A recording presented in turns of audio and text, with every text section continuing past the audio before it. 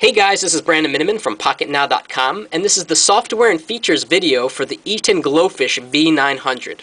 Most new Windows mobile devices that are coming out have some kind of interface replacement that covers up the boring, plain, ordinary, difficult to use Windows mobile interface. Uh, so you have TouchFLO and TouchFLO 3D, and the Sony Ericsson Xperia X1 will have its own kind of interface replacement.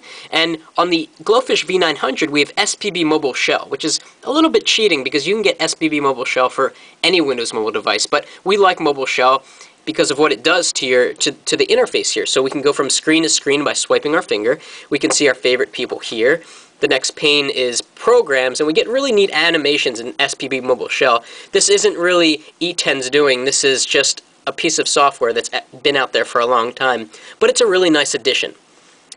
Out of the box, this is what the Today screen looks like. It's a little bit cluttered for my taste. It puts some programs here that you can launch and that sort of thing. There's a soft button down here for SPB Mobile Shell, which will take you into the screen that I just showed you. I'm going to exit there. There's a speed dial button, which will bring up uh, little blue squares that you can assign to people that you call quite often, so that's good. Okay, now I'm going to go into the Start menu and show you some things. The Start menu is not touch-friendly, unfortunately. All the entries are kind of small, requiring you to use your stylus to kind of select an item because it's more precise. I'm going to go into Office Mobile to show you the on-screen keyboard options that come on the V900. And obviously this is the standard Windows Mobile on-screen keyboard, but E-TEN includes one keyboard called Easy Keyboard, and it's really a bad name for it because this is not an easy keyboard. It's not even a standard QWERTY keyboard layout and it's very difficult to use. So I'm probably going to stick with the standard um, regular keyboard. It's unfortunate that there's no good on-screen keyboard because obviously this device doesn't have a standard hardware keyboard that you can use to type. Looks like we're going to have to use something like TouchPal to fill that void. Okay, so let's go into the Programs menu. All the icons look very sharp. It's a VGA screen. The white is very white. There's a lot of contrast. It looks good. This device, like the Samsung Omnia, has an accelerometer that works in any program. So let me show you what that looks like. I'm going to zoom out a little bit and pan, and then I'm going to tilt the device, and it's a very fast screen rotation. It's actually probably faster than the HTC Touch Pro. But how fast is it? Well, let's compare it to the Samsung Omnia. I think that would be a really good comparison. So I'm going to turn on the Omnia, and I'm going to make sure we're in the same screen. I'm going to get to the program screen. Alright, let's see which one's faster. One, two, three.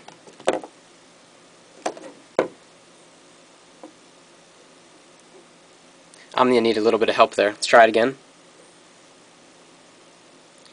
Let's go the other way.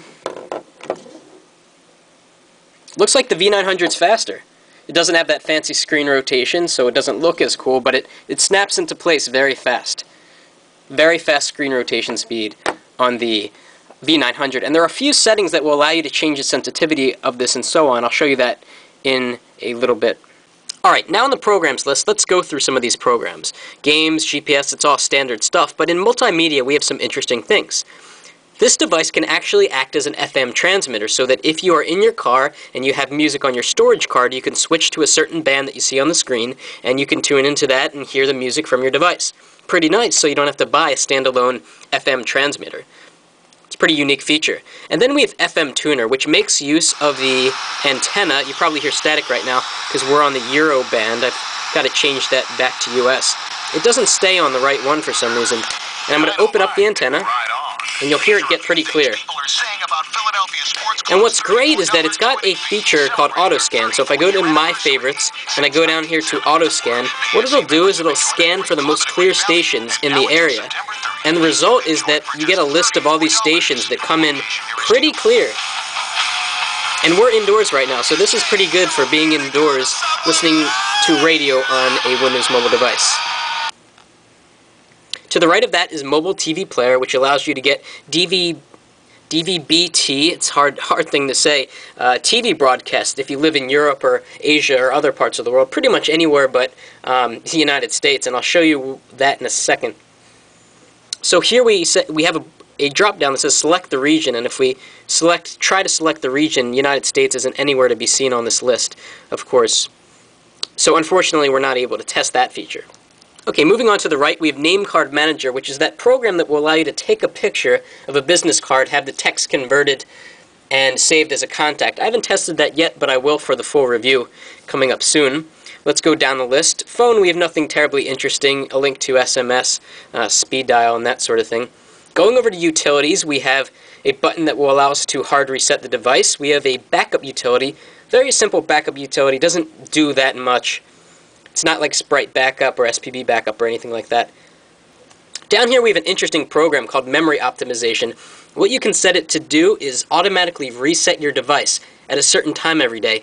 The reason being because you get programs in, uh, in system memory and you may want to reboot, just like you would want to reboot your computer after a few days.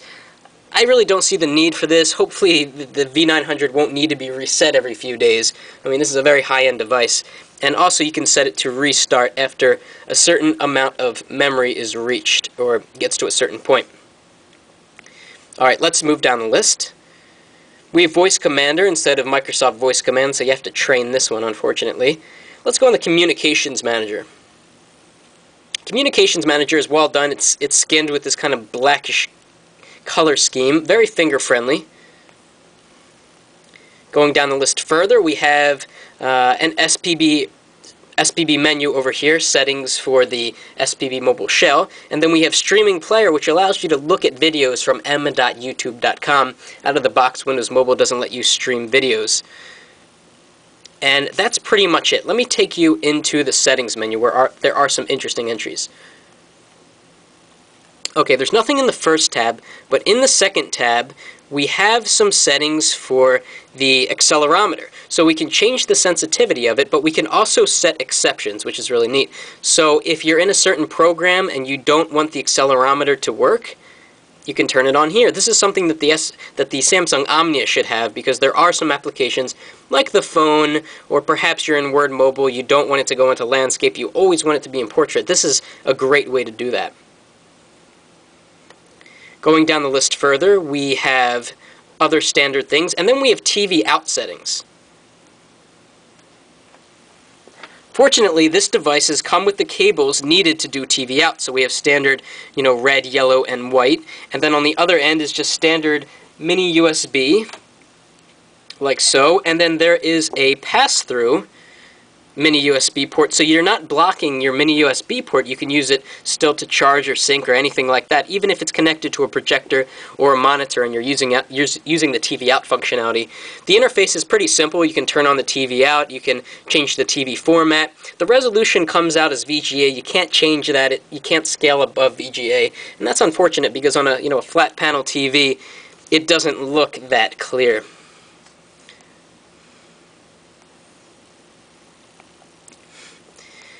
And finally on connections, we have nothing really usual here. Again, we have the connection manager and that sort of thing. I got the, this device to work on HSDPA here in the United States, working on AT&T, because it has the UMTS 850 band. So that's, that's good news. And finally, a note on performance. You probably have seen by now that the performance of this device is very good. It's got a 533 megahertz Samsung processor. The screens come up quickly. The screen rotation is quite fast. It's almost instant. I don't want to use that word because instant is instant. This is not instant, but it's it's very fast. All in all, I'd say the software on this device is solid, though it's buggy at times. There are times when it doesn't come out of standby or it becomes unresponsive, which it really shouldn't. I think it's just a matter of getting the ROM right, and I think E-TEN will issue a new ROM sometime soon.